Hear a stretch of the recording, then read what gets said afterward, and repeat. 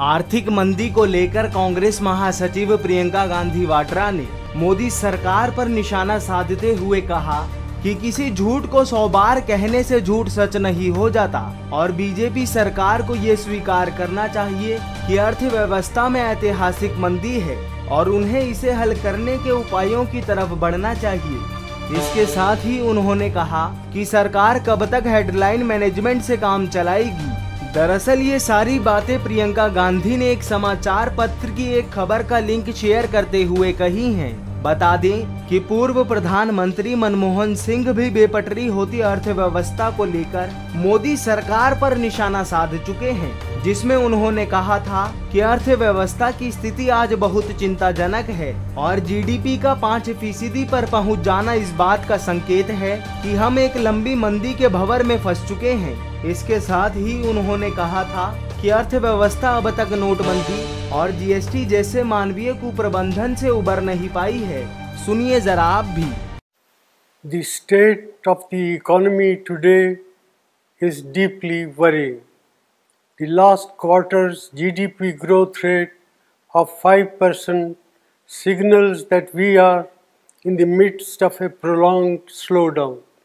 India has the potential to grow at a much faster rate, but all round mismanagement by the Modi government has resulted in this slowdown.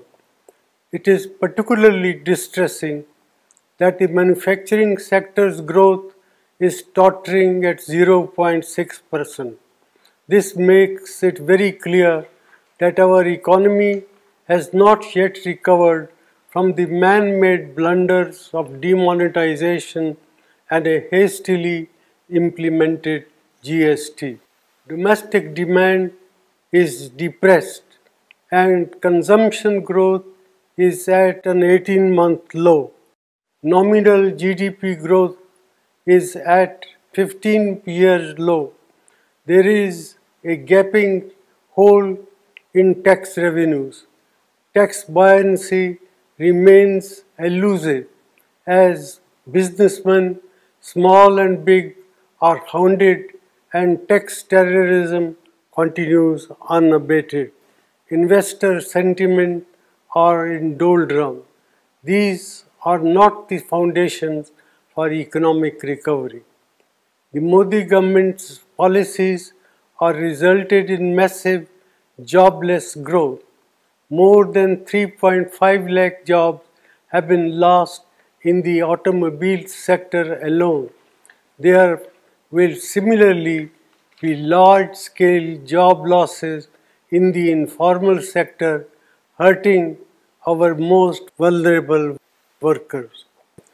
Rural India is in terrible shape. Our farmers are not receiving adequate prices and rural incomes have declined.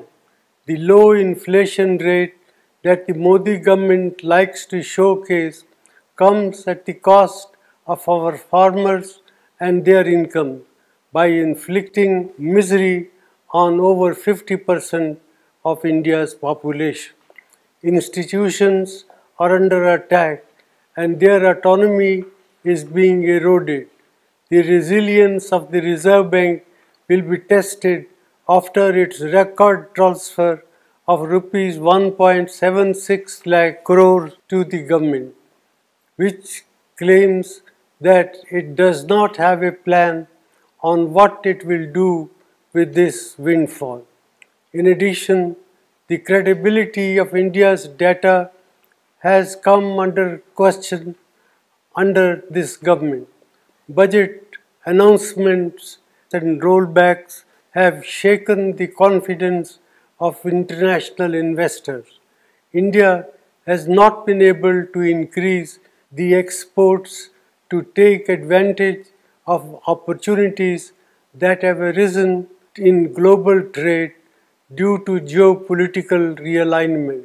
Such is the state of economic management under the Modi government.